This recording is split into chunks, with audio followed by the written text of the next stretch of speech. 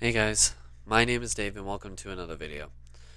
Originally I actually was going to make a much lengthier video uh, answering a cumulative combination of questions. However, something came up that became much, much more dire uh, than this, at least to me. Um, Pink Fox uh, just came home from work with a migraine to the degree where it actually started causing her to throw up. Um, so, unfortunately, I do have to cut this video very, very short today because of it. Um, she is resting right now, and I want to do what I can to help um, her out as much as I can.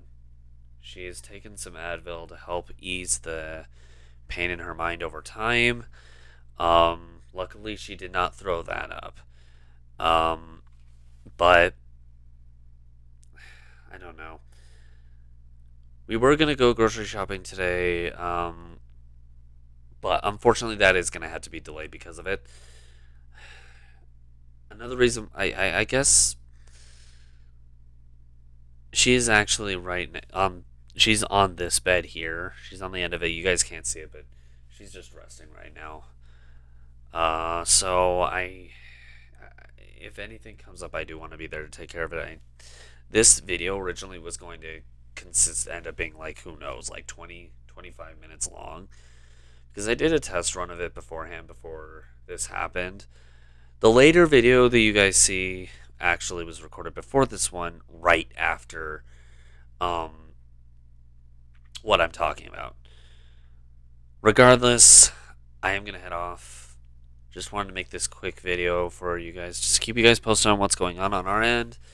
Um, it's unfortunate that this had to happen, especially since, well, there are a lot of circumstances. Anyway, yeah.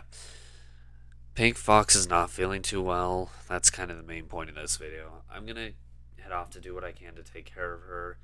Um, if she wakes up, I want to be there for her and not be working on something at the moment. But I guarantee I do have something planned for tomorrow for a um, much longer video. Um, so look forward to that.